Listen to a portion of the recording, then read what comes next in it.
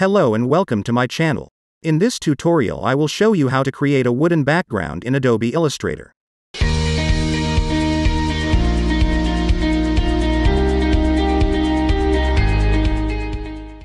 First, we will create a rectangle along the entire length of the workspace and the width will be your choice.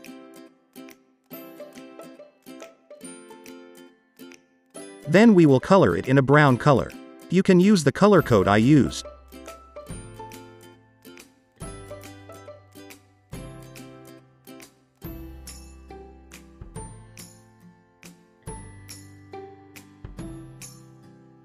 Then we will create two other narrower rectangles that will represent the light and shadow of the plank.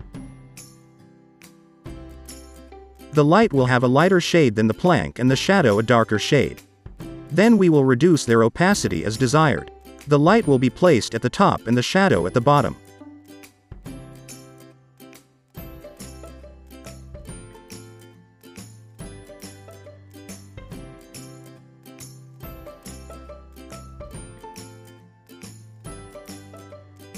Next we will create the specific wood texture. We will go to the Paint Brush tool and double-click on it. We will select Fidelity to smooth and press OK.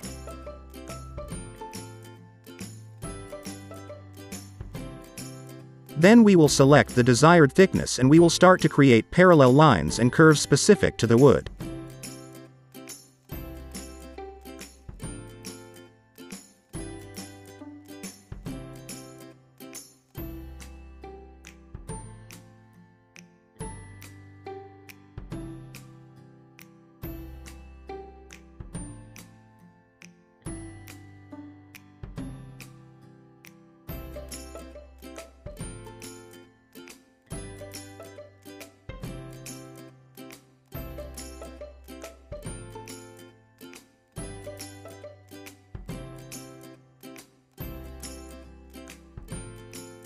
After that we will select all the lines and change the width profile to the first one and the brush definition to basic.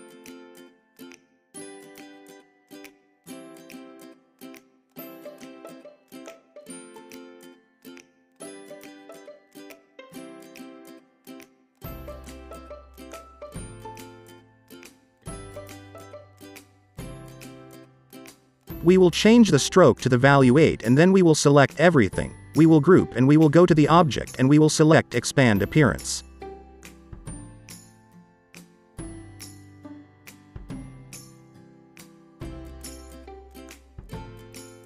Then we will select all the lines together with the rectangle below, we will go to the Shape Builder tool and we will delete the outer parts by pressing Alt and left click.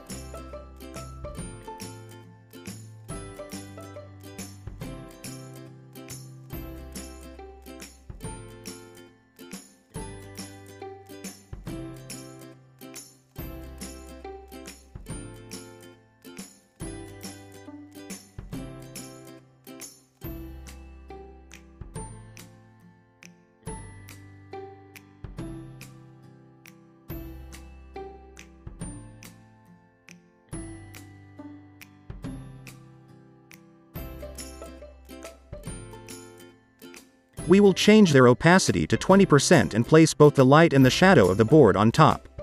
We will right-click on them, arrange and bring to front.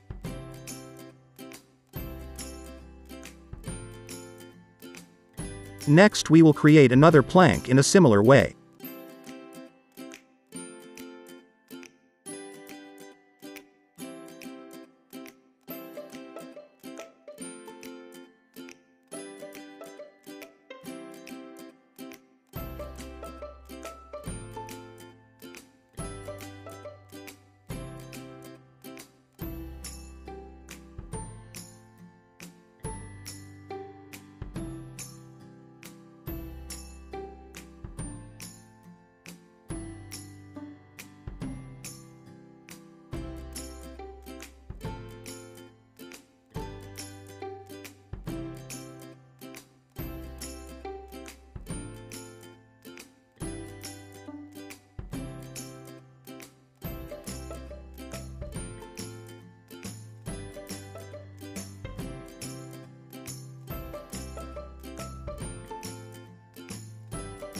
We will use the same light and shadow that we will group together with the rest of the elements forming the second plank.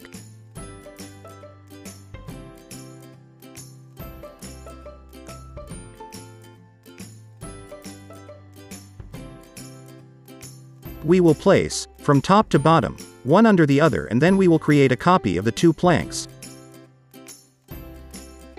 We will place them under the other two and we will turn them by pressing right click, reflect and vertical.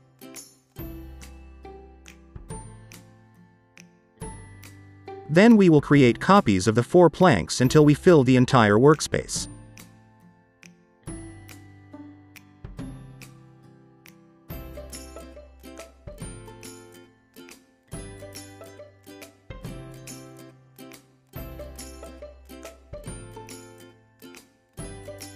Then we will resize them all to fit exactly.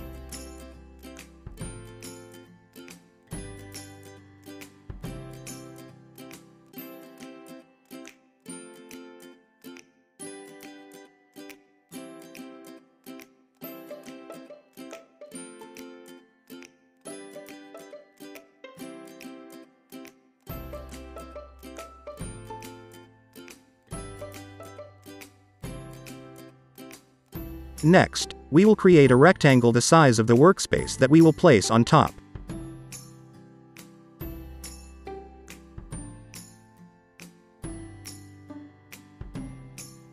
Over this we will apply a radial gradient of 2 points so that the middle point is white and the outer one is a dark brown.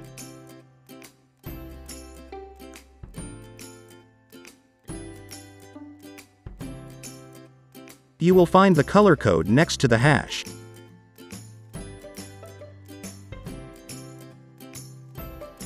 Then we will change the transparency on the overlay and lower the opacity to 50%.